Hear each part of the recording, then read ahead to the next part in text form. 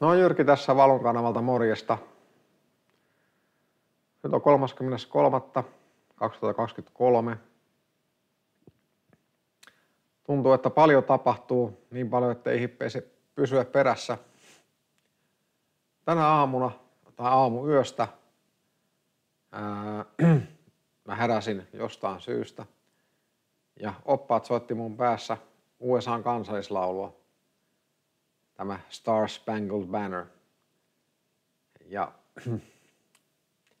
mä en nyt mennyt katsoa sen sanotuksia. Mä luulen, että tässä on nyt sanomana se, että USA alkaa tapahtua nyt isoja juttuja. Tai tapahtumien vyöry. Sieltä se lähtee sitten ilmeisesti liikkeelle, nämä isot asiat. Ähm Eilen soitti yksi tuttu, Marku Kääpä, joka kertoi, että hän on vähän mittaillut näitä tulevia tapahtumia, että miten, miten nämä vaalit menee, kun monihan sanoo, että ei kannata antaa yhtään energiaa tämmöiselle pahuuden pyörittämälle järjestelmälle. Mä oon taas sitä mieltä, että kyllä tämä muutos tämä lähtee kaikilla tasoilla ja kaikki tasot tarvitaan. Eli kehotan ihmisiä äänestämään. Ne, jotka ei ole vielä äänestänyt, menkää sunnuntaina äänestämään ja kirjoittakaa kuulakärki kynällä se henkilön numero, jota äänestätte. Ja manifestoikaa, että se ääni tulee lasketuksi, että se on mukana lopullisessa ääntenlaskussa. Ja se menee sille annetulle ehdokkaalle. Mutta tosissaan Markku oli tuossa mittailu, että 12 prosenttia näistä läpipääsevistä olisi valon ihmisiä, eli valkohattuja, eli oikealla asialla. He eivät ole ostettavissa, ei kiristettävissä eikä manipuloitavissa. Ja he ovat kartalla siitä, että miten asiat oikeasti on. Ja myöskin mä huomannut tuolla TikTokissa, jossa nuoret on paljon, he on hyvin hereillä. Siellä on hyviä pätkiä, missä puhutaan hyvinkin tiivistetyssä muodossa totuuksia. Hieno juttu. Nuoret nousee, nuorissa on tulevaisuus.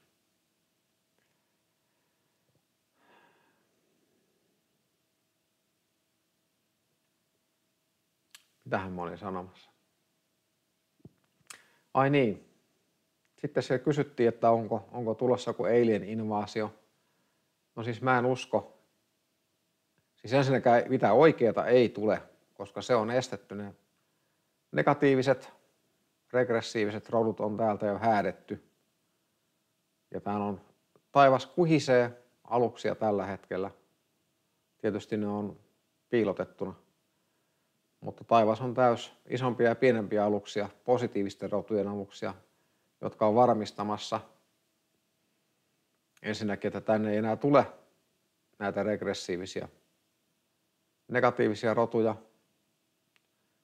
tai ei kannata edes yrittää. Ja toisekseen he on mukana sitten mentoroimassa meitä. Ja siinä vaiheessa, kun tätä planeettaa aletaan puhistaa, he tuo teknologiaa, jolla se on mahdollista.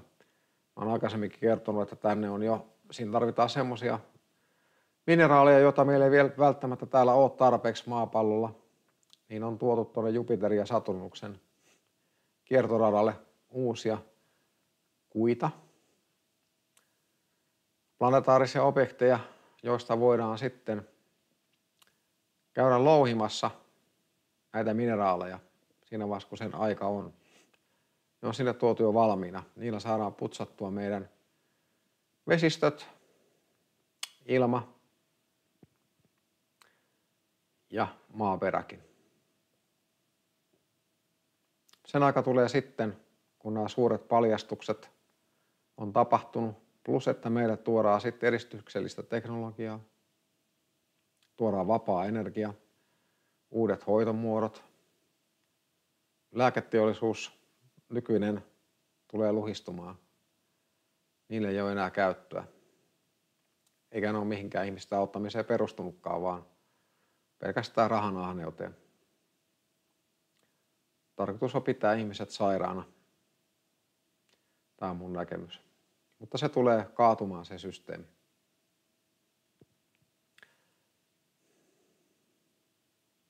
Varmaan lentäviäkin autoja nähdään, mutta mä uskon, että ensin nämä nykyiset muutetaan käyväksi vedyllä. Pilkotaan se suoraan vedestä. Sittenhän meillä kaiken aikaa avautuu uusia kykyjä varmastikin ihmisillä, enemmän ja enemmän telepatiaa ja selvä näköä, selvä kuuloa, selvä tuntoa.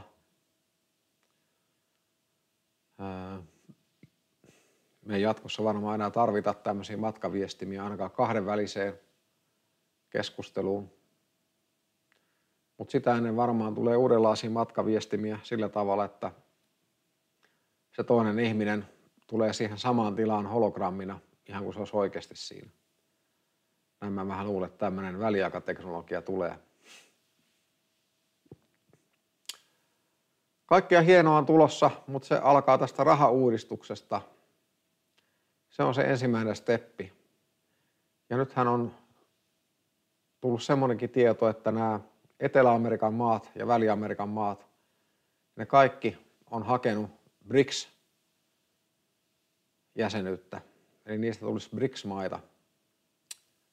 Brasilia, Venäjä, Intia, Kiina, Etelä-Afrikka. Ne on muistaakseni nämä nykyiset BRICS-maat, mutta lisää tulee.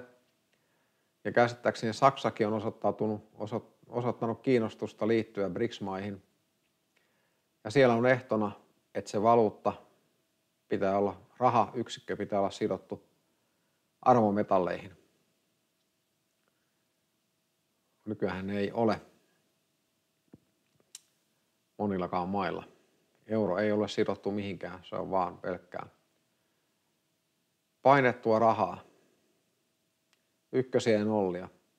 Sitä ei ole sidottu mihinkään arvometalleihin tai mihinkään reaalivakuuteen. Eikä USAan tätä väistyvää dollaria. Se USAan Treasury Note, eli, eli valtiovarainministeriön laskema raha, se on sidottu kultakantaan. Eli tämmöinen muutos on tulossa. Kysyttiin sitten sitäkin, että mikä on mun näkemys, että kaatuuko nämä kaikki pankit. Mulle näytettiin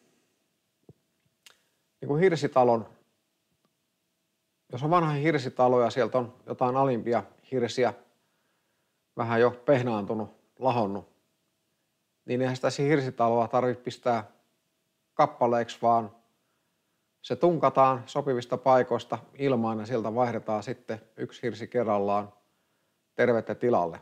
Niin mä luulen, että tämä pankkimaailmakin tapahtuu, että se siinä sivulla, kun ne tavallaan menee nurin, niin ne ajautuu sitten hyvisten syliin ne pankit ja ihmisten, ihmisten tota, tilit siirretään suoraan siihen kultakannassa olevaan valuuttaan. Näin mä uskon, että se menee, että se menee mahdollisimman vähällä häslingillä tämä homma. Um, jos et ole katsonut, niin kannattaa katsoa uh, semmoinen kuin Nordic Flame-kanava. Mä oon sitä aikaisemminkin suositellut, mutta siinä oli nyt pari päivää sitten. Riina ja Juha kertoi, että he on kanavoineet semmoista tietoa, että arkturuslaiset, heillä on semmoinen teknologia, puhuttiin valoaseesta, ei se välttämättä ole ase, mutta sitä käyttämällä saadaan tämä valo täällä vahvistettua niin voimakkaaksi, että kaikki nämä matalaverehteiset ihmiset paljastaa todelliset kasvonsa. Eli totuus tulee ilmi, sitä ei voi enää piilottaa. Eli kaikki vääryydet, kaikki valheet tulee esille. Ei voi enää lakasta maton alle mitään. Kaikki tulee esille. Kaikki paljastaa itse itsensä. Ja sitähän on nyt jo tosi paljon. Ja moni on huomannut, että somessakin On paljon vale, valevaloa, vääriä profeettoja. Hekin paljastaa itsensä.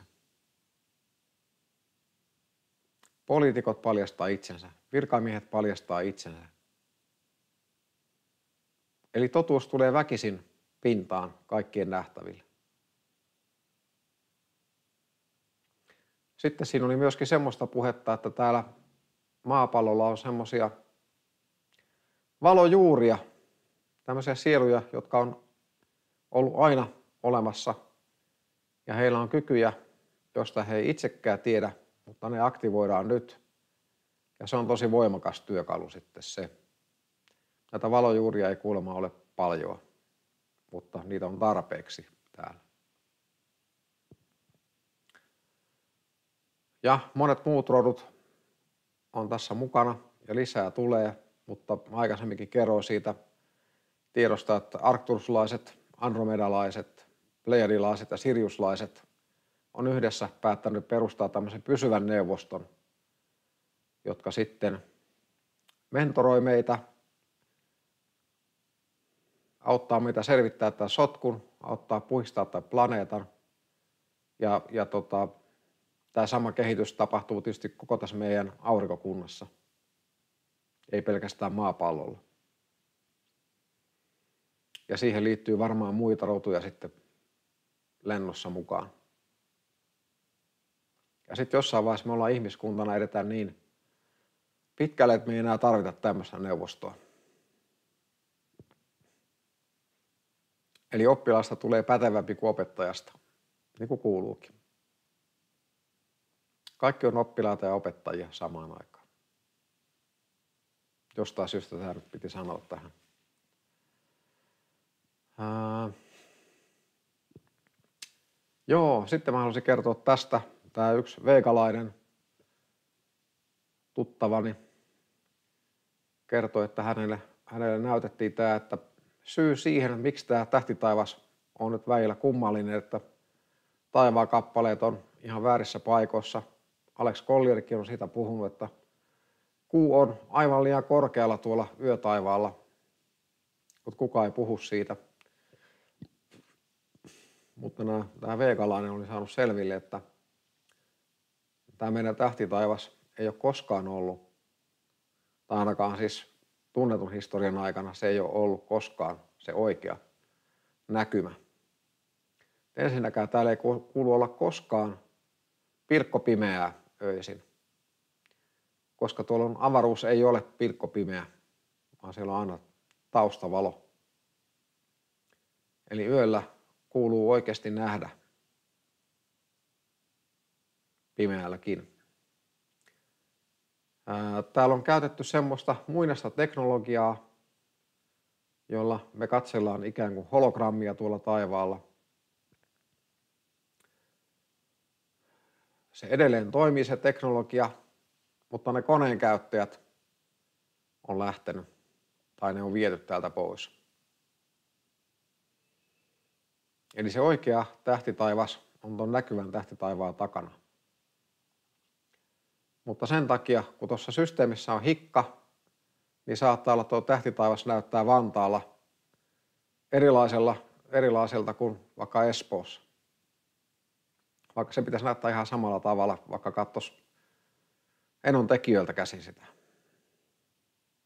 Ne on niin kaukana ne taivaan kappaleet, että kattopa nyt mistä vaan samaan aikaan, niin pitäisi näyttää samalta. Ainakin Suomen mittakaavassa.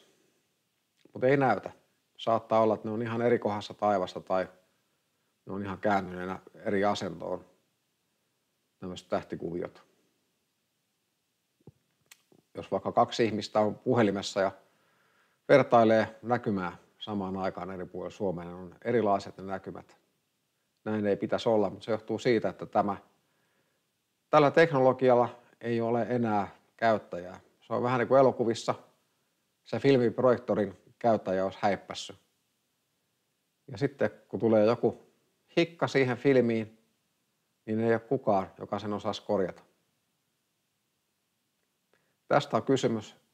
Tämä kaikki, sama pätee kaikkeen tämmöiseen negatiiviseen teknologiaan, mikä on annettu noiden negatiivisten tahojen toimesta tänne, kehittyneempien rotujen toimesta. Ja nyt kun niillä on vain ihmiset enää käyttäjänä, niin hetken päästä ne ei enää toimi. Ei löydy enää sitä, joka pystyy fiksaamaan, kun tulee joku ongelma. Et operaattoreita vielä löytyy, mutta heti kun tulee joku ongelma, niin sen korjaajaa ei enää löydy. Eli vielä meitä vastaan voidaan käyttää esimerkiksi sääteknologiaa, mutta ei enää pitkään. Kloonaushommelitkin taitaa olla nyt loppu.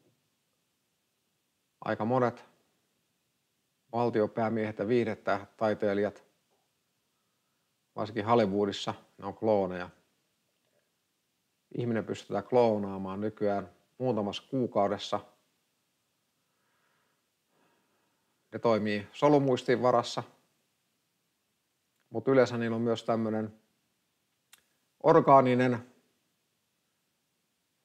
mikroprosessori päässä. Eli ne on kauko-ohjauksella. Ne eivät edes itse tiedä, että ne on klooneja. Alex Collier kertoi siitä, että sen on olemassa teknologia, millä ne pystyy tuot väkijoukosta esimerkiksi poimimaan ne kloonit. Se on vähän, jos ajatellaan vaikka infrapunakameraa, vähän vastaavaa teknologiaa, niin näillä klooneilla se aura, se energiakenttä, se on ainoastaan pään ympärillä. Mutta, mutta tuossa muun kehon ympärillä ei näe minkäänlaista energiakenttää. Eli heiltä puuttuu sielu. Siitä sen tietää. Ja tietysti näiden kloonien elinikä ei ole kuin muutamia vuosia yleensä. Korvat on vähän eri malliset, ne ei oikein toistu samanlaisina. Silmien väri saattaa olla eri. Ja tiettyjä, tietyt piirteet, niissä on vähän eroja. Mutta ei sitä sen enempää. Nämä kloonitkin tullaan loppusijoittamaan johonkin muualle sitten, ellei ne lähde sitten luotaista kautta.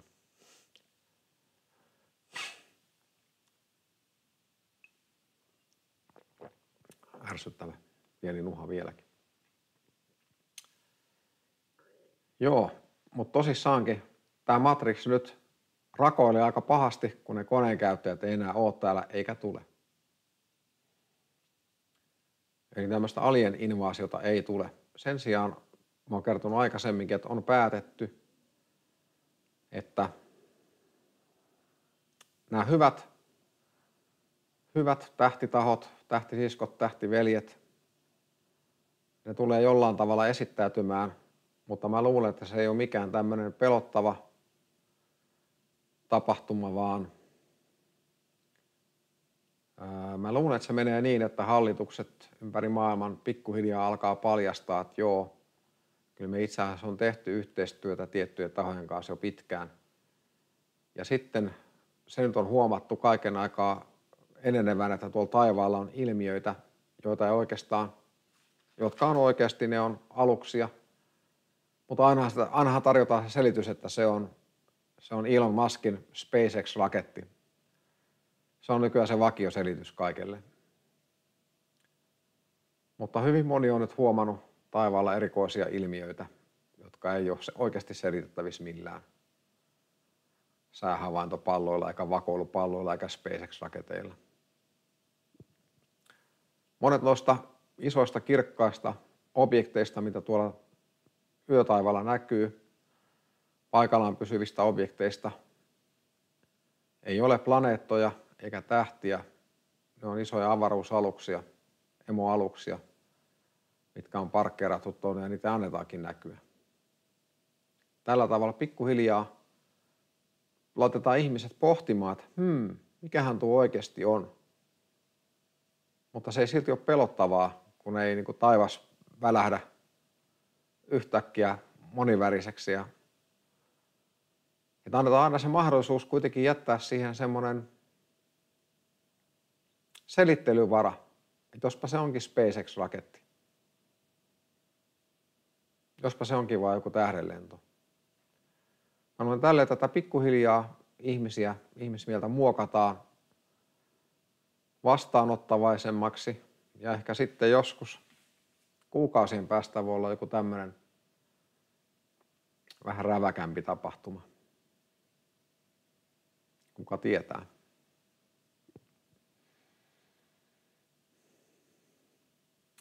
Mutta hyvin, hyvin positiivista mun mielestä tuntuu. Nämä energiat on nyt huomattavan paljon kevyemmät.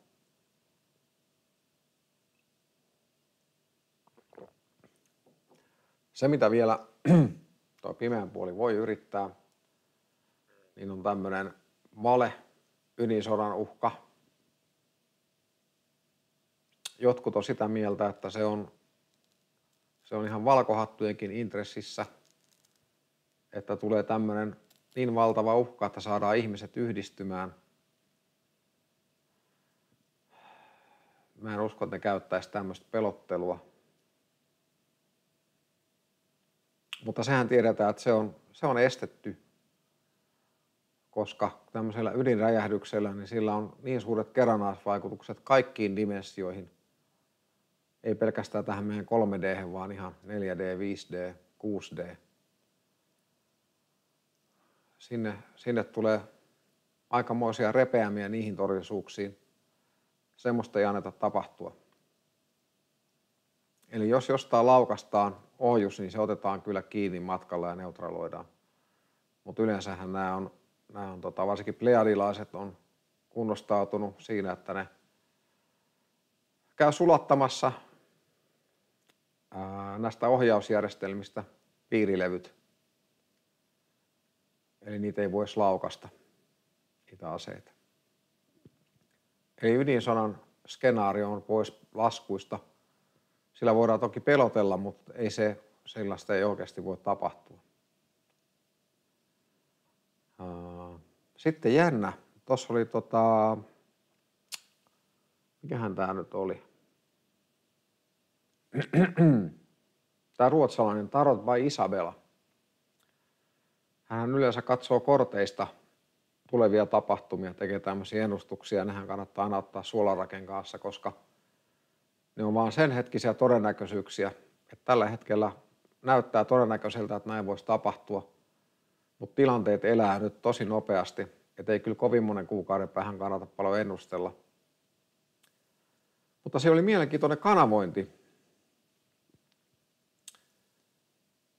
jossa kerrottiin näin, että nyt, on, nyt tätä hommaa ei enää kattella, että nyt tälle tehdään loppu tälle pelleilylle. Ja täältä ruvetaan napsimaan pois nämä oikeasti pahat yksilöt. Siis paha tarkoittaa oikeasti tämmöistä julmaa pahuutta. Evil, niin kuin sanotaan englanniksi. Ne otetaan täältä pois. Ja kuulemma se tapahtuma alkaa sillä, että taivaalla, taivaalta alkaa kuulua voimakkaita pamauksia. Siitä tietää, että se homma on alkanut. Näihin kannattaa suhtautua aina varauksella, mutta kumma kyllä myöskin tota, tämä Louis Jones, tämä britti näkijä, niin hänkin kanavoi tämmöisen, että – taivaalla tullaan kuulemaan kovia pamauksia ympäri maapallon. Voi olla, että siinä on silloin joku totuuspohja, kun useammasta paikasta tulee tämmöistä. Luonnonmullistuksia tulee varmasti.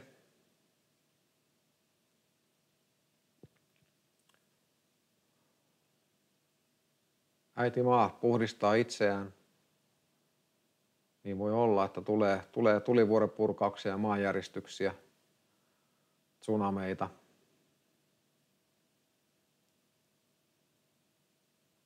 Mutta ne on tarkoituksenmukaisia. Näin mä uskoisin. Ää, joo, eiköhän tässä nyt ollut ollut vaihteeksi. Tosissaan kannattaa ottaa se Tuuletyttäret-kanava myös seurantaan. Siellä on tullut pari hyvää kanavointia, mä siitä jo mainitsin. Sielläkin puhuttiin tämmöistä puhdistavista tulvista, mitä on ehkä tulossa.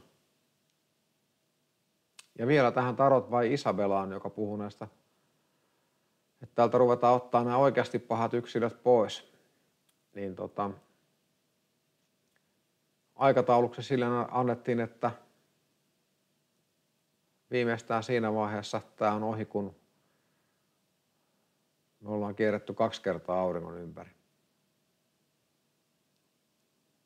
Mutta se voi olla vaikka ensi kuussa.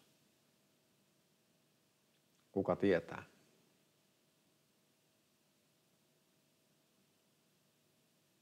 Mutta hyvin, hyvin positiivista. Ollaan positiivisella mielellä. Manifestoidaan positiivisia asioita. Ja kukin on vastuussa itsestään omien energioidensa kohottamisesta. Eli ei kannata nyt hirveästi tutkia kaiken maailman agendoja, koska ne tulee päätökseen. Ei ne tule menee läpi. Nyt ei kannata kohkata Natosta eikä maailman talousfoorumista eikä mistään muustakaan. Ne kaikki kaatuu hyvin nopeassa tahdissa. EUkin tulee kaatumaan, kun joku iso maa lähtee EUsta. Se ei enää voi toimia. Ja korkeintaan palaa tämmöiseksi talousalueeksi, niin kuin se on alun perin ollut, mikä on hyvä juttu. Että ei olisi tämmöisiä tullirajoja. Tuossa vapaa kauppa. Sellaisena se olisi parhaimmillaan. Ehkä yhteinen valuutta, sekin on ihan hyvä systeemi. Ei ole mitään keplottelua siinäkään välissä. Tai sitten niin, että jokaisen maalla on oma valuutta, mutta se on täysin yksi yhteen vaihtokelpona jonkun muun valuutan kanssa. Sekin on toimiva systeemi.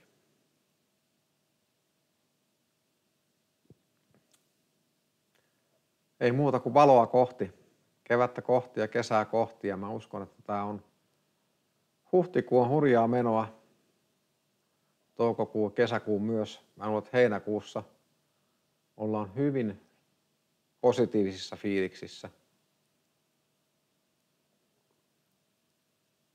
Näin olkoon. Nähdään taas jossain vaiheessa. Moikka.